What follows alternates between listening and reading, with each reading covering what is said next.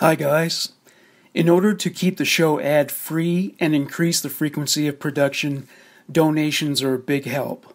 Some of you have been very generous in donating, and I appreciate it greatly.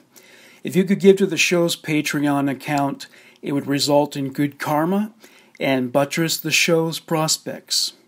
The URL is www.patreon, that's P-A-T-R-E-O-N dot com slash leader1, L-E-A-D-E-R-O-N-E, www.patreon.com slash leader1. Thank you so much.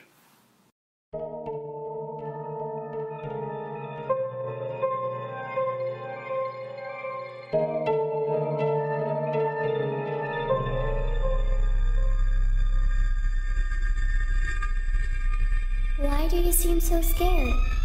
All I wanted to do was play with you. Please come and play with me. I'm so lonely. You're not afraid of the dark, are you? Don't be afraid. Come with me. I will show you where I play hide and seek. Do you want to play hide and seek? You hide, and I'll find you.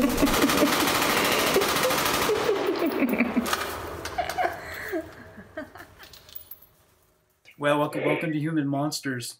Um, so yeah, this so this case that we're we're covering it has to do with. Uh, well, we're gonna I'm gonna name the offender first because it pretty much revolves around him. His name is Billy Yeah. Shafer.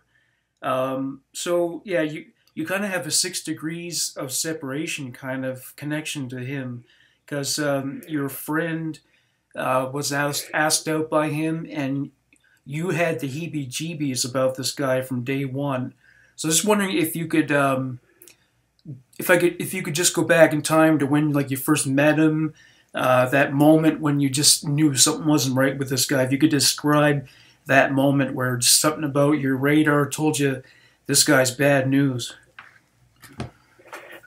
Well, when when this all went down, um, I was about I was about fourteen. Uh, she was fourteen. I believe he was sixteen, and we went to the same high school. Um, he was older, um, but he uh, we saw we didn't have like the same classes, but we would see him in the halls, you know, cafeteria, that kind of thing. And he um, he took a liking to her right away Mm-hmm. and which you know was not surprising a lot of people did she was fabulous but um he was just very creepy. Um i don't know how else to say it. Um he would always kind of just be lurking around like where our lockers were you know we were always together. And he i don't ever remember actually having a conversation with him. Um, I literally would just kind of clam up anytime that he approached. Um, he was always telling her like very creepy pickup sort of like, oh, I want to show you a good time. Um, he wasn't asking her out like a teenage boy would. It really felt like I don't know. It just was not the same. It was, you know, you don't say, I want to take you and show you a good time the way that he did it without, you know, it, it- he would, anyway. So, um, you know, he, he bothered her about just on and on and on. She really truly was not interested, but I think it came to a point that she's like, okay, I'm going to go out with him because maybe then he'll see, you know, that we really don't have anything in common and then he'll let it go. Yeah. And um, I just, you know, up until then, I definitely was the friend that kind of rolled my eyes and said, okay, uh, yuck. But um, once she said, you know, I'm going to go just to kind of put an end to it, I think, you know, he won't be interested anymore or whatever. I literally begged. I begged her not to go. Um, and it actually kind of caused an argument.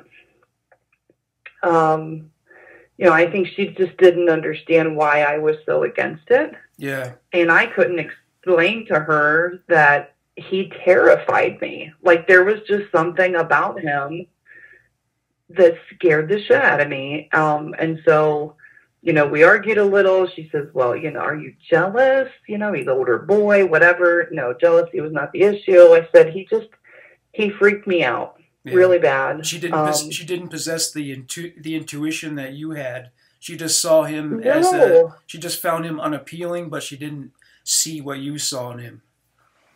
Right. I think like she was the sweetest person. So I think that she definitely did not find him appealing, but I think that she kind of almost felt sorry for him because he was just so persistent. Like I think she felt bad for just saying no constantly.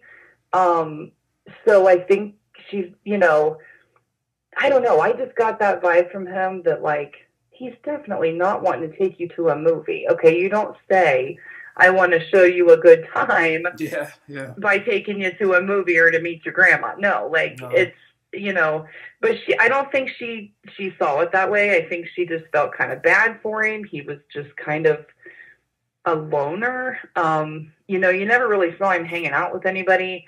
He was just a weird guy. Um and yeah, as soon as she said, I think I'm gonna go, I kind of just freaked out. I said, like I, I literally begged. I said, please do not go. Like, just don't do it. Did she end up going And, on the uh, date with him?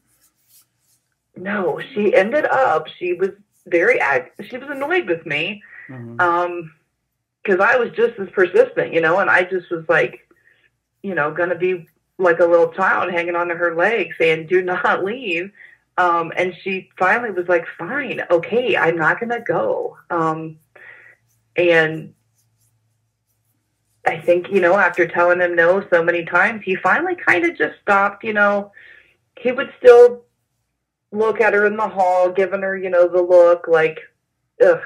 But um, he eventually kind of backed off, and it was not long. It, I would just, it was within just a couple of months. All of this happened.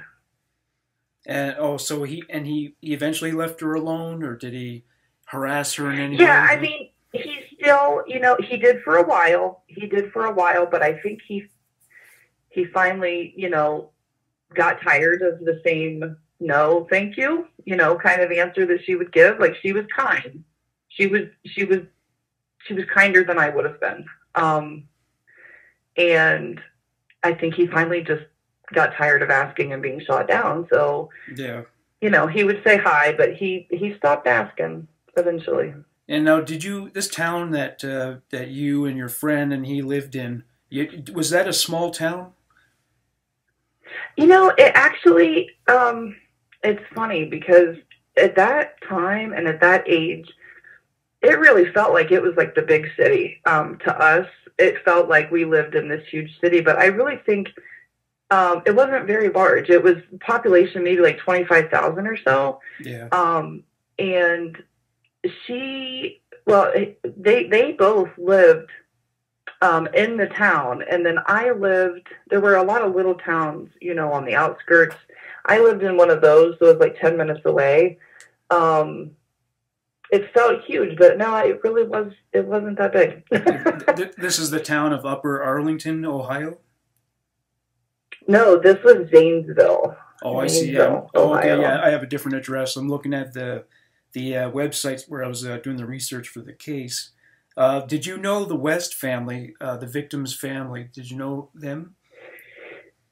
Um, so that was like another kind of weird thing. Um, the the there was a guy, and it was just a very like very removed kind of Kevin Bacon kind of way. Um, I was dating this guy, um, and his best friend. That we were always over at the best friend's house, and the best friend's mom. I know this is like one of those long drawn out things, but the best friend's mom was actually dating Kevin, and that's who he was out with the night that this all happened. Wow. oh my God. So you. Um, So you- yeah, I mean, it was just very, it was just very weird. So you got to see the effect that, that this crime had on the whole family, did you? Like, I mean, I, I, th- I mean, I guess by then you, I- you didn't know them as well, but I honestly, I never saw Kevin again after that. Um, I know that uh, the girlfriend, they did stay together for a little while. Um, they, it hit her very hard, obviously. Like she had probably spent, you know, a lot of time with the kids and stuff whenever they were with him. But um, it just hit everybody really hard. Um, oh, without a doubt. you know, this yeah. town, this town, you know, sure there was crime. I mean, uh, it's not, it's not this terrific, upstanding town. I'm not going to lie, but um, there was lots of crime. But something like this was just, it it was different. You know, Oh, it was yeah. so sinister, and it was just not your your run of the mill like, you know, just stupid, petty crimes. Yeah, I'm just going to go through the bare bones statistics of the case here. So, a five year old girl Yeah. named Sara West was sexually assaulted and murdered by her neighbor, Billy Shafer, who had dated uh, Amber's friend. And uh, her name is Amber, by the way. Amber's friend is the. Oh is the no. yeah. Yeah, so yeah, Amber's friend went out with this guy, Billy Shafer, and he's the one who perpetrated this horrific crime. Um, the offense I have listed is aggravated murder, but there was a, a sexual assault, there was a sexual assault involved. Uh, that was part of the crime. He's gotten a sentence of 20 years to life, though it seems as though he probably won't make parole because of just of how uh, he didn't express any remorse for what he did, but I'm going to go through it from the beginning. Um, so on February 14th, uh, 1993, so how many years ago is this now? That's uh, 24, 25, 26, 20 28 years ago. Uh, This happened, yeah, this last Saturday or last Sunday, yeah, 28 years ago. Um, so Sara and her brother Seth were being babysat by Billy Shafer. So he was 16 years old at the time. So that's when he dated your friend, right? Oh, when he tried to date my friend. yeah, when you tried to date your friend, I should yeah. say, yeah, yeah. Yeah.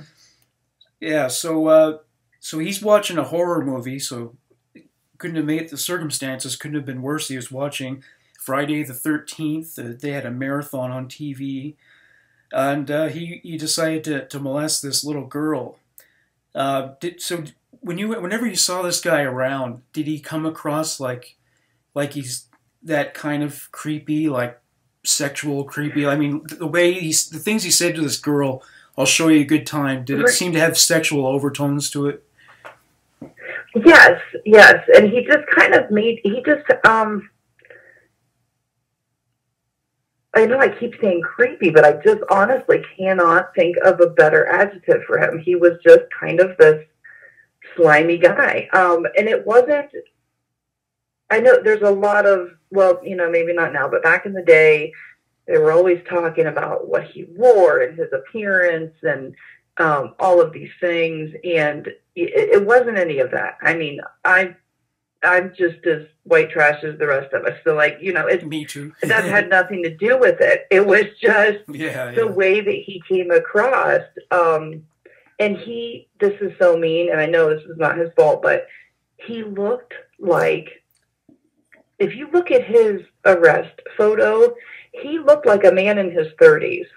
You did, yeah. It's just, it, it was very weird. Like this was a 16 year old boy, but he did not look like a, you know, he, he, it, he kind of was like, it was like this creepy old guy, you know, pretending to be a high school kid is what it felt like. wow. Yeah, that is creepy. It, I mean, I know, you know, and that's awful. Like, but it's just, it was true. It was just, he was, he gave a lot of people the creeps. Oh yeah.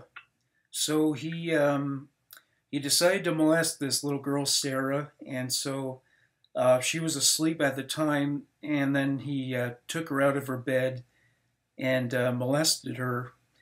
Um, and just to give some background on Sara, so she was described as precocious and loved tea parties and dolls and uh, Cinderella, and uh, was very fondly remembered by her family and friends. How was it that people like that always seem to become victims Yeah. of people like this? It's always it's always like the the angelic types, you know. Um, I mean, that's how she was described. Right, you know. right. Um, so The pictures of her just, it breaks your heart. She's like the perfect little girl. Oh yeah, you can tell you you just by looking at her. Yeah.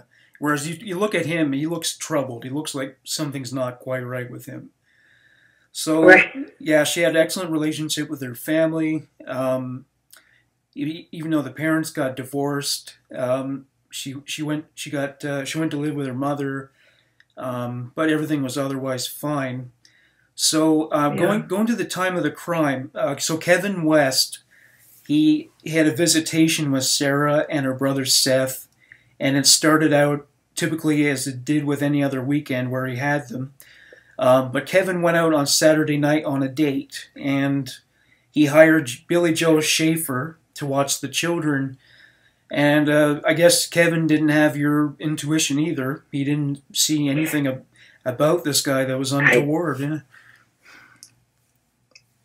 Or were you about to that, that something? whole situation as a parent now and i hate you know i don't want to be like victim blaming and all that kind of thing i'm sure that he has punished himself um, so much over the years and so it's hard to try to be a nice person but at the same time as a parent yeah. if you saw this kid, he is not someone that would instill trust. Like he's not someone that you would want around your children, not alone, like, you know, leaving them in the care of. It's just it blows my mind.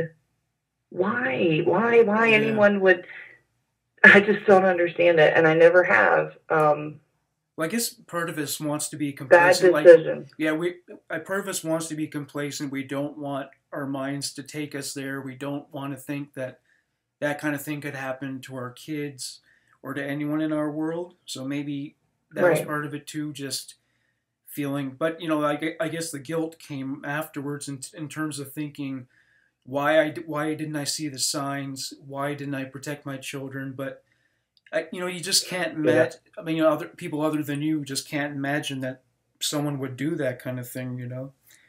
I I actually yeah, I've read, you know, before that, you know, people that are like just genuinely really good people, um, you know, their brain just doesn't work like that. Like they don't look at people and and see that. They just, you know, see the good in people or whatever. So, you know, and maybe that was the case. Maybe he was that kind of guy that was just, you know, giving everybody the benefit of the doubt, just a genuinely nice guy and and you know that could be um i was i was a kid um but i i just was a very uh cynical kid and and i Hmm. didn't i was very untrusting so Yeah, you see, you would have been a really good cop because you you have an eye for these people. You know.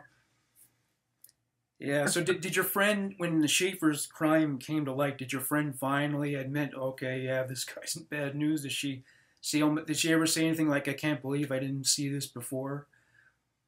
yeah she um she the morning that i found out actually she was the one that called me um and it was early um I mean, heck, honestly, I don't know. To a teenage girl, it, it could have been 10 o'clock, but to me, it felt really early. She called and she was just crying hysterically. Um, she asked if I had heard what was going on, and I said, you know, I just woke up, I haven't heard anything. And she said, Billy killed a little girl. And I, I just, I said, what? You know, like, uh, it just, what? And she's, I don't know how many times she had to say it, but I just felt like I felt like I couldn't even hear. I felt like there were just bees buzzing in my ears. Um, and I just remember saying, Billy who? But I knew who. Like I knew who before she even said. I just had that disgusting feeling and I'm not sure how she had found out, you know, whether radio or on news or whatever. Um, she lived very close to where this happened. So, you know, word this bad travels fast and but she was actually the one that told me and she was just absolutely hysterical she just kept saying like oh my god what if i would have gone with him Oh, um You know, I wonder So- what I wonder what that does to you when when you. I mean, she she knew him a little, so like to, to know someone and then find out they did something like that. I wonder if that led her feeling almost defiled or tainted just by having associated with him. I I feel I feel like it definitely would because you know, like I said, I can't remember ever having an actual conversation with him. Um, I know there was a few times that he would he saw me um, in the hall, like without her, and he would ask where she was, um, you know, but like, you know, I never actually had any kind of connection whatsoever with him. And, you know, she did definitely talk to him more than I did. And I mean, just the fact that, like, good God, she was going to actually love this guy. Um, and then to find that out, I just remember how horrible it made me feel. I can't, I can't imagine the way that it, hmm. that it made her feel. And perhaps one of the reasons Kevin West was able to trust him is that he only lived in that house. Kevin West only lived in that his house for four months, and I guess maybe uh, it just wasn't enough time to really get to know um, to get to know Shafer. Right. Uh, there, maybe Shafer kind of kept to himself in the neighborhood. Nobody really knew anything about him. And again, not everyone's as intuitive as yourself. So, um, uh, you know, no one I tend to, to agree. I think that, you know, maybe he just being there, you know, new to the area, so he's not going to really know, you know, all the dirt on this kid and you know people wear very good masks. So maybe maybe he played it off really well and just acted like this normal normal neighbor kid that i can't imagine but i that had to have been the case you know? So i'm going to go through uh, that evening. Um, so, so, when it started with shafer coming over to the home uh, so um, David West let uh, Sara stay up till 10 because she was like drawing a picture and she wanted to finish it, and it's Saturday, so why not? Um, and so she begged, well, actually, she begged Shafer to, let, to stay up that late, and he let her. Um, so, yeah, they were up and out and even a little bit past 10 p.m., and then he put them to bed. And uh, this is interesting. So Shafer, after putting them to bed, he drinks a beer he snorted some glue his hot Saturday yeah. night, yeah. And he started watching the movie Friday the 13th. Um, maybe the glue damaged his brain. Maybe that had something to do with it. Um, and so at one point, he took some skin magazines into the bathroom and pleasured himself there. Yeah. And mm-hmm. he, he calls a friend down the street and invited him over to see a tattoo gun he made that day. So this guy, this guy was kind of uh, shady already before this even happened. So we we know right. he's kind of a shady character, yeah. So he went to his friend's place, leaving the kids alone. Um, and before he left his friend's house, uh, he brought a handgun with him. So um, when he got to the friend's house, apparently he stated that he planned on killing everyone in the house. Uh, but he, right. he, knew he couldn't uh, overpower four people and decided against killing them. So this guy was just a ticking time bomb, apparently. Um, so yeah, like that's just crazy. Like you know, he thought that was a bad choice, but he's going to go and you know, like this was a better choice. Yeah, well, I mean, based on what I've read about serial killers, and I've read about many of them by now, they, that all seems to be an element where it's just like it seems to rise up in with them, and they can't. They just keep trying to suppress it, and they can't, and then it just kind of right. spills over. Um, so let me see. Yeah, so Shafer and two of his friends went out back of the friend's house, and they fired the gun a few times. Uh, so he uh, left there and went back to the West House. And sometime between 11 and 11:45, Kevin West actually returned to the house briefly because he had been out dancing and he had been sweating and he wanted to change his shirt. And so he did that and uh, checked on the kids and then left about 15 minutes later.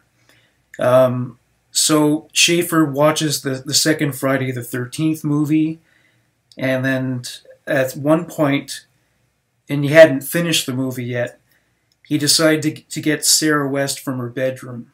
So he put her on the sofa, and uh, for a while there, he wasn't sure what he was going to do. Um, so he takes her up to the weight room, and he removed her clothes, and he kissed her body. Um, he fondled her uh, with his finger, and at one point, she woke up and started screaming. So uh, she, unfortunately, she she suffered through this consciously. Um, and he left her alone in the weight room, just screaming alone. He shut the door on her, and the door was apparently very hard to open for some reason. Yeah. He went to get a knife, and he came back to the weight room and began stabbing her repeatedly. And at one point, he bit her thigh and her breast. This is just diabolical. I mean, it just it sounds It's almost personal. horrific. Yeah, it's it's it's unbelievable. I mean, this is not merely an execution. This is someone who clearly has uh, sadistic and psychotic tendencies. Uh, let me see. Yeah. So he dragged her down the stairs, leaving blood on the walls and on the the stuffed toys that were left on the stairs. He put her in the bathtub. Uh, he cut off her breast and slit her throat. He also cut her body from her pelvis to her neck. And then he was quoted as saying later on, "Well, then I cut her straight up the front, uh, pulled her uh, skin and stuff away from the slit." A little bit and stuck my hands inside her with the knife and started cutting, stabbing. I mean, no no. This is the, the way he said specific. No sophistic thing I was cutting on. Yeah, so this is this is just a bloody rampage. This is just pure evil, and uh, clearly. So, did you pick up on any like? Did you get the sense he may have been not just creepy but deranged? Like, did it? Did he seem like mentally ill or something? I felt I felt like um up, up until the point that she said, you know, she was going to go with him. When she was still saying no, she wasn't going, you know, it was, you know, I just I didn't like him. Um I felt like he was just very uh, scary, uh which is was was kind of it was kind of funny at the time because like I was the kid that was like I thought I was a little badass. I was a little punk and I wasn't afraid of anything, but this guy scared the crap out of me. Um but you know, I wasn't like crazy persistent until she said she was going to go and then I just felt like it was dangerous. I felt like it was dangerous. It it felt like I don't know. He he felt dangerous to me. Um, and I and I even kind of tried to like rationalize with myself, like you know, seriously, he's just a kid. How dangerous can he be? But hmm um, I just I felt very very strongly that if she went with him, I just felt like something bad was going to happen. And, And she thought I was completely crazy, but luckily she was, uh, you know, she loved me enough as a friend to entertain my what she thought was just being crazy, and he just seemed very scary and dangerous to me. And undoubtedly, when that kind of thing comes to light, you know, the whole community is a buzz. Anybody who might have known him probably, you know, gave out information. Probably, I don't. Who knows how much of it would have been rumors. But did you end up hearing anything about his background, his childhood? Well, you know what? I didn't until until this all happened, and then you know they like because like I said, like when it came to school, um, I don't know of any close. I don't. I don't know of any friends that he had. I'm sure there was somebody. I mean, he went and showed him the Winsell tattoo guns or whatever, but I never. You never saw him with anybody. Um, so it's not like there was a lot of you know people that could have been talking about his past, but when it all came to light, it's like this dude was damaged. Yeah, He sounded very damaged his whole life. yeah. I'm wondering if any investigative reporters might have done any digging, but I guess you know ultimately, if you're if you're related to someone like that, you don't want to talk about it publicly because it would already bring so much shame on your family. You wouldn't want to divulge anything. So Right. I mean, they they had said he entered the system when he was like six years old yeah, for trying to beat his grandma, and then again when he was twelve for stabbing his brother, and it's oh, just oh like god, yeah. it's yeah. Well, the system's goal, and I interviewed a social worker a while ago. I don't know if you heard that episode, but Yeah, bas- basically, yeah. the way they see it, the ideal situation is that the child should be placed back in the home in different circumstances. But there are some kids who are just so disturbed that that's not really a, a viable option. They really need to be, you know, squared away in an institution, perhaps permanently. And this is there have been many instances like this where a kid was set free. And actually, I'm developing an episode on Ed Kemper right now, and he he, he committed murder by the time he was 15, and they released him. They thought, oh, he's doing fine, you know, because he figured out how to manipulate them into thinking he was normal now, and uh, so the system has done this many, many times. It's scary. It's like you know, you put a good mask on, you can fool everybody into thinking that you're you're fine. I mean, I, I guess I used to. Well, hell, I still have so many questions. Like, you know, with his parents. Like, if you know that you, you know, if you knew that he was dangerous and he was just stabbing his brother four years ago, why would you? Why would you you know, let him around little kids or like, but you know what? Maybe they didn't know what he was doing that night. Maybe they had no idea. So that's not fair. But oh, it's just, yeah. it's crazy because it's just sounded like it was just one thing after another with this guy. It could have been a matter um, of neglect as well. it all exploded. Yeah, it could have been neglect as well because in in a in a household where there's neglect, things like that they just they're just permitted. Anything's permitted. The parents could be on drugs just the kids run wild, and so it's quite a, right. It's like they don't care what what the kids doing. Yeah, exactly. So the kids just are just free range. They just run wild and do whatever they want. Okay, so, uh, so I did. Yes, right. Yeah, go, go ahead. Oh, you go on. No, I, I was just going to say, like, I did, um, when he had come up for parole eventually, his dad did make a statement that was, you know, I respected that, you know, he said if if Sara can't have her life back, then Billy should never see the light of day again. So he was in support of of him being locked up forever. And I thought, you know, at least that's something, you know. Well, that's a very difficult position to be in to have a child. Do you do you have children? Yeah, I do. I have I mean, two. And can you imagine being in the position where your child just did something really evil and yet you still love your child? I mean, that's got to be a hell of a mind fuck, right? Right. I I cannot. I just can't imagine. I mean, you know, his.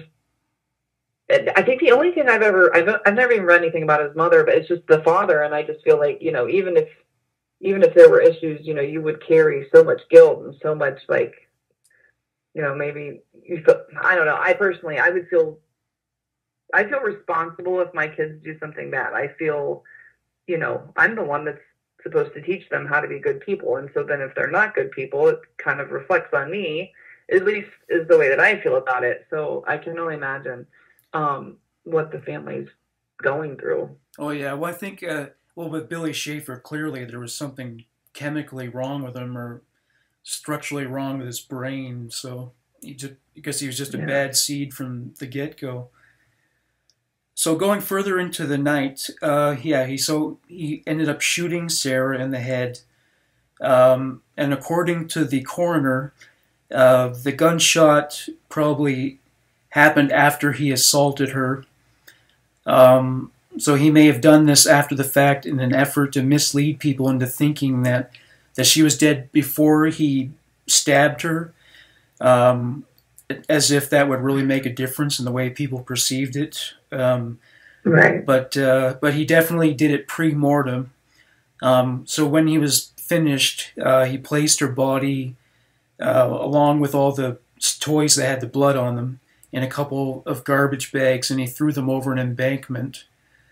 Um, so after he, he threw her body away, uh, he came back to the house and he staged a robbery. So he removed a window and he threw furniture around to make it look like somebody broke in he grabbed a bottle of Pepsi and took uh, took her her brother, who was three years old, to a cabin behind the house.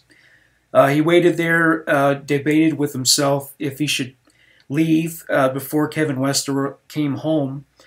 Um, Billy heard Kevin West banging on Shafer's parents' front door because they were neighbors.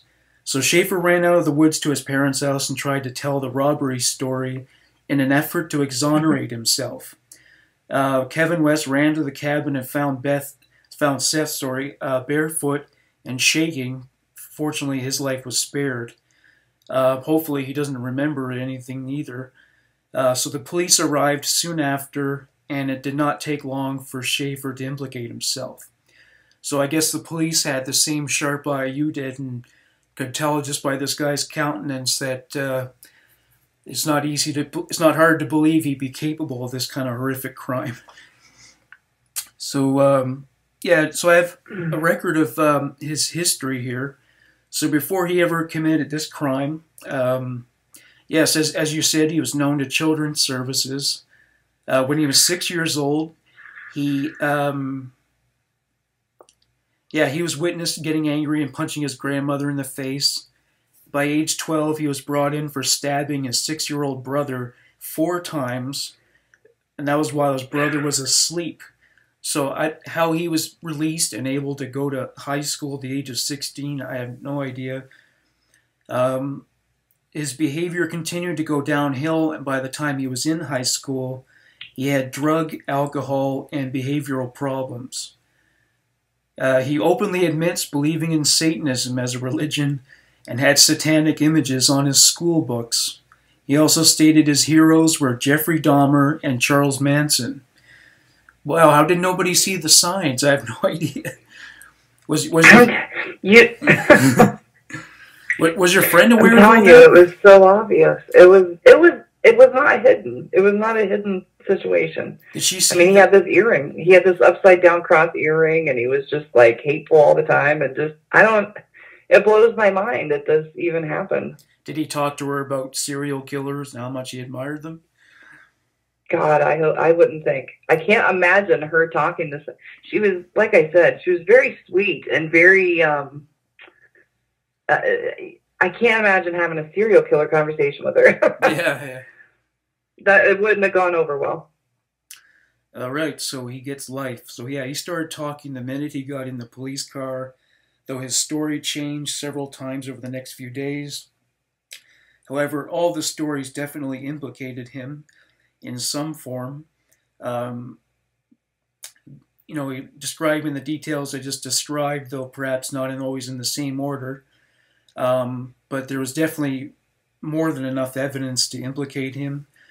Um, he was offered a plea deal if he would answer several questions regarding the murder of Sara West, and he agreed to do that. Um, and they noted two comments that he made during the interrogation were particularly frightening. When he was asked what would have happened if Sara wasn't there and Seth was the only one in the house, he said, I would have did him. Shafer was Yeah. asked why he killed Sara. His, his response, I've always thought of doing it and opportunity was knocking. After that final interview, Shafer pled guilty to aggravated murder and was sentenced to life in prison. And incredibly, uh, he not only does he not consider himself to uh, to truly be guilty or or that the crime there was anything wrong with that crime, but he has sent death threats to the West family to the point where the FBI had the family under 24-hour surveillance, and he was in prison. See, I don't understand. I've never understood this. You know, I thought that when you were in prison, you know, your mail is monitored, your phone calls are monitored. Like, I don't understand how that went down. But yeah, that's Yeah. wow. I don't get it. Um, and then I think it was something about at least. I mean, um, like they wanted to go for murder one, but the plea deal was, you know, yeah, okay, fine, we'll go down for murder one as long if you tell us the details. And uh, like, unfortunately, unfortunately, he could not get the death penalty penalty for this because if anybody deserves it, in my opinion, it would be him. Oh yeah, and uh, they just mentioned the police mentioned that uh, you know he described all the grisly details of the sexual assault and the murder with uh, Mm. with no remorse. You know, he, and not only that, but he appeared to be proud of it too. You know, he considered this Yeah. that was like his crowning achievement in life, apparently. Uh, so he's been described as a sociopath, a child murderer, a sex offender, and an unremorseful monster. No, no yeah, no kidding. Uh, so releasing him at any point would be a complete injustice to Sara West and demean his extremely cruel treatment to her. Um, so yeah, I mean, well, this is so this is an article from a website called blockparole.com. So I, I think this is probably a cause they have for many cases, and uh, it's no wonder. Um, this guy is just, and it's strange. I'm looking at him now. That I'm looking at a more updated photo of him because uh, I'm I imagine he didn't have gray hair in high school, right? No, no, I've seen I've seen the recent photo, and uh, yeah, it's it's it's crazy. Well, it's weird. He looks. He still looks but, creepy, but yeah, but way more normal than he used to, at least. Um, like I don't know. I, I feel like he kind of looks just like he looks average now. Um, yeah, he does. Yeah. What was was he into? Like a lot of like metal bands, like Slayer and stuff like that too. Um, I don't remember. You know, and it's I don't remember exactly like what he he had all these patches. He would wear this sleeveless jean vest, like, and there was all these patches, you know, different bands or whatever, I don't know, all over it. Um, and then the, the the earring, like the one earring, which was like this upside down cross that was way bigger than necessary, and um, and it was weird because you know I come from like my whole family was all the men they still had long hair and were like rocker guys, you know. So it wasn't like I was just so different from him that he was creepy to me. But he, um, yeah, I just he definitely and he was like one of those. He would he would have like marker. He would do like different like symbols or whatever on his skin. It would be like either ink or marker or whatever. Um, I had no idea what the hell was written all over him, but he just looked. Yeah, it was just crazy. And and so, what year were you 14? Oh, it would have been 90, 93. I turned 14. Yeah. Um, yeah. So. Yeah, I'm not asking to say how old you were, but. Uh, no, yeah. oh no, yeah, I turned 14 in 93, and um, yeah, it was just. Actually, that he's the. My friend was about What's that? I was 16 that year, so yeah, he's I guess the same age as me. Oh, it's just I can't imagine um, doing anything that horrific um, at at that age. It's, it's, yeah. I don't know. I just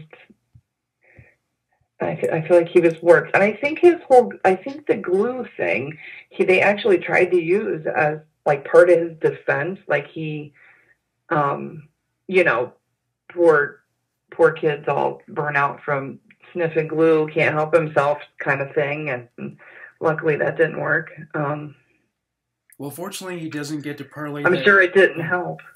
No, no, I'm sure it didn't. Because uh, well, I think it accumulates in your brain. It can actually like form a membrane inside there, and that's when it starts oh, yeah. real damage. I mean, it is glue, so. right. It's, I can't imagine it being good, but I can't imagine it's definitely not going to make you uh, do something this disgusting to a little a little girl. Oh, not at all. Um, so yeah, so did you know more about? Um, you mentioned that her father kind of blames himself, and you say he left town. Did he or he moved? No, um, I I don't have. I have no idea what happened um, after the fact. We actually left town. We actually um, we were we had been planning on moving um, before this happened. So like this happened in February, and we moved in April. Um, and it was very it was a good move. I mean, I I I had a very hard time with this. Um, oh yeah. So it kind of I think it kind of affected everybody in the community. Did it kind of leave a leave a taint on the community for a long time? Honestly, that's the way um, that's the way it felt. I think, you know, just so many people, um, you know, there was either those people that uh, completely get off on and on talking about these things that, you know, and it just there was so many details flying around and you didn't know what was true and and what wasn't true and just horrific things. Yeah. Unfortunately, so much of it did come out to be true, but um you know, I think the people with with the soul, like just really didn't, just couldn't even bear to talk about it. It was just so, it was awful. Um, and I was, I was uh it it kind of it felt to me like for for a long time for years I didn't understand why it bothered me quite as bad as it did because it just it just shook me to my core like the entire situation that I knew you know that I had known somebody that did that and that mm. just um everything everything about it uh it just bothered me so much but I think now that I'm an adult I I think looking back I just it made me feel like my little safe bubble was burst you know? Like it, it just completely um you, you feel nice and safe and secure and like nothing bad like that's gonna happen. That's tv stuff. And yeah. then something like that does happen so close and it it just definitely affected me. Um, so was that community for a long, long time? Was that community otherwise very safe? Was there very little crime going on there? No, I mean, you know, there was crime, but it wasn't. There was crime. I don't want to. It's it's not.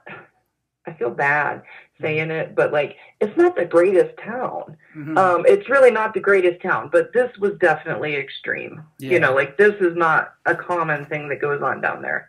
Um, you know, and I still I still have family that lives down there, and uh, I go down every now and again to visit them. But um, if it was not for if it wasn't for having family there, I don't think I'd ever go back because it just like you said, it just that whole town just feels very tainted to me. It has never felt the same, and um, I was very very glad to to move away. Yeah, yeah, I can I can understand it's, that. Yeah, yeah, I was, I was, just, um, I was just look, you know, he can't, he may be proud of himself, but he can't parlay it into fame to any extent because you, you, you Google his name and the country singer Billy Joe Shaver comes up. So he, so oh he's, yeah, he's being overridden by him. yeah, you know, I think he wanted to be like, you know, infamous. Well, you know, like Dahmer or Manson, and and you can't. It's it's uh it's difficult to find yeah. you know, information. There's maybe two, three articles. You can find the parole stuff um, really easy, and that you know, thankfully, every time that goes around, they petition, and I how I've signed every single one since I've been an adult, and um, but other than that, yeah, he's not nearly as infamous as uh, he thought he was going to be. Yeah, yeah, well, that's good at least. So he'll just uh, yeah. eventually be forgotten. I hope. I mean, obviously not by her family, but um, you know most people yeah, eventually I, forget about it.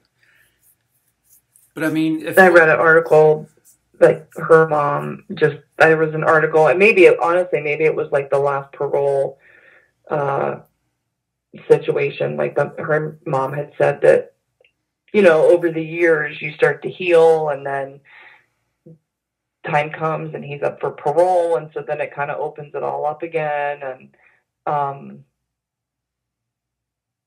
and so then you have to start healing again. And um, yeah, it's it's one of those things. Like I, I won't think about it for a long, long time, and then every now and again, you know, like when things are calm and I don't have a whole lot going on in my head, like things I'm worried about or dealing with or whatever, like it'll sneak in and I just all the questions that nobody will ever have any answers to. You must be really careful about hiring babysitters. I was so I was ridiculous. Yeah. Uh, my husband, my husband actually, um, you know, he was always really careful, but I was, um, yeah, nobody, nobody watched my kids. Like I was so, it definitely stuck with me. It's not something that I forgot. I had a daughter you know, she's 17 now, and when she was little, I was, she, I wouldn't let her out of my sight. I just, that's the things I thought about all the time is, you just don't know. So you, you, so did you find it hard to trust her around men?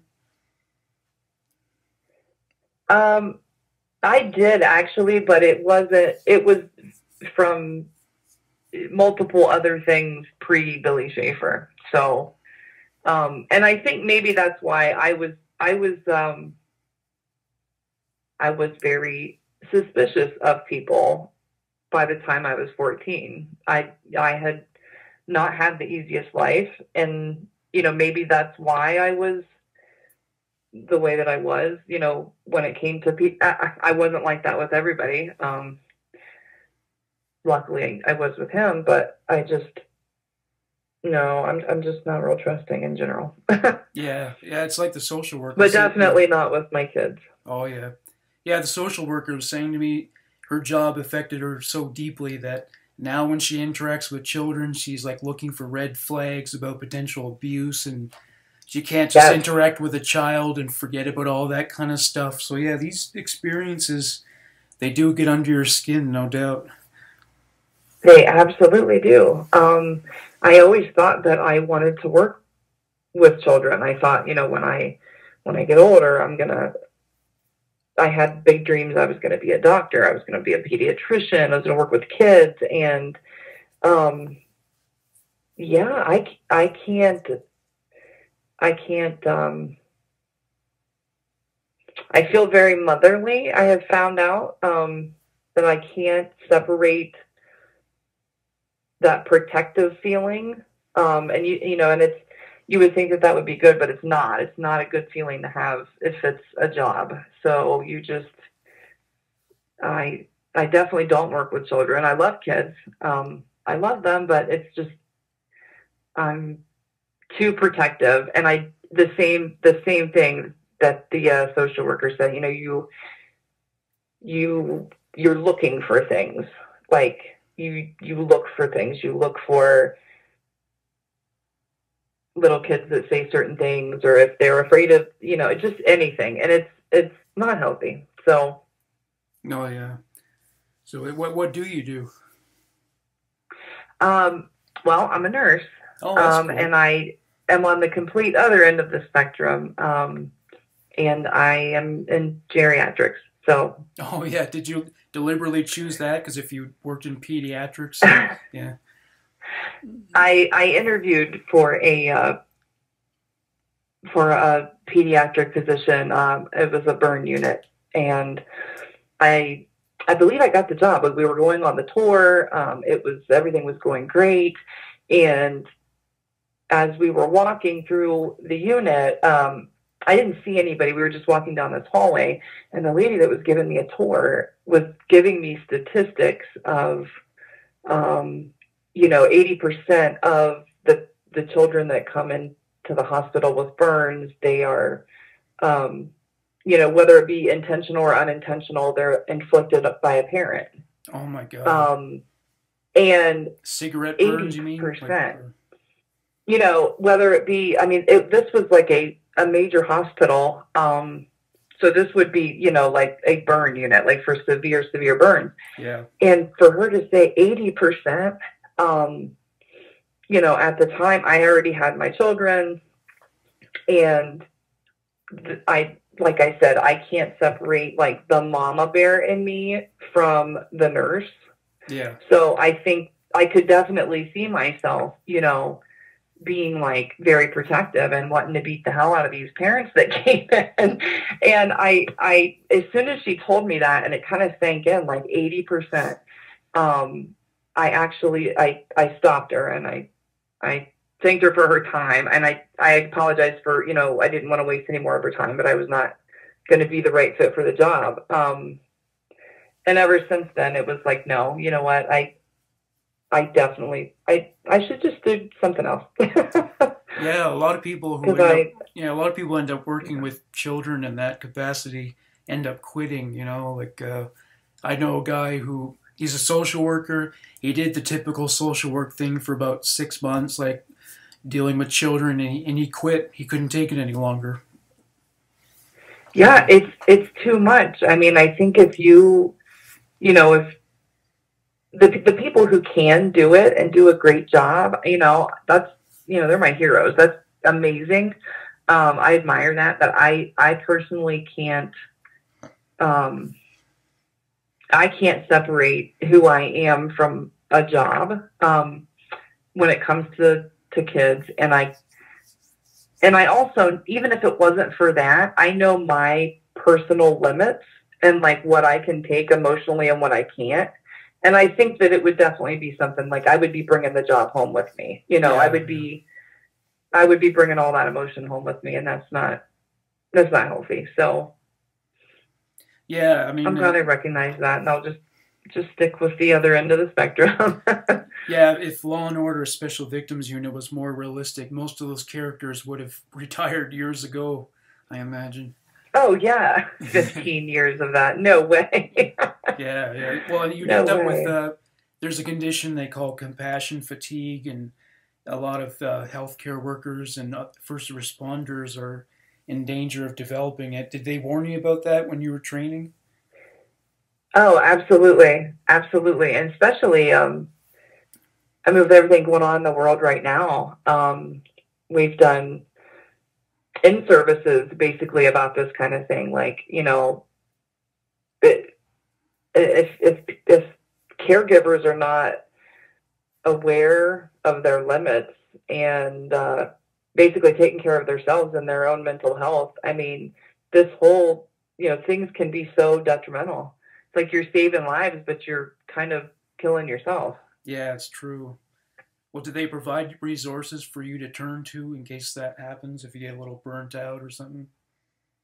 Yeah, or I mean, it, yeah, at least where I'm, at least where I'm at, they definitely do. I think a lot of places do. Um, yeah, any kind of nursing, any kind of medical right now. I mean, it's just it's hard. It's hard. Yeah, for sure. Well, I thank you very much for doing the show, and uh, it's uh, definitely more enlightening that you actually knew uh, someone who had associated with a killer and you lived in the area, so that added uh, a lot of extra dimensions to it that are really fascinating, and uh, your, your insight has been very valuable as well. Well, thank Well, thank you, Thank thank, you. you. It's been a long time since Yeah. I brought all that up, and I'll just tuck it right back down now. yeah, yeah, exactly. Yeah, suppress it again. Yeah. All right. Absolutely. all right. Thank you. All right. very- thank you. Thanks, Amber. All right, great. All right. Take care. Have a good night. Bye. Bye bye. You too. You too. Bye.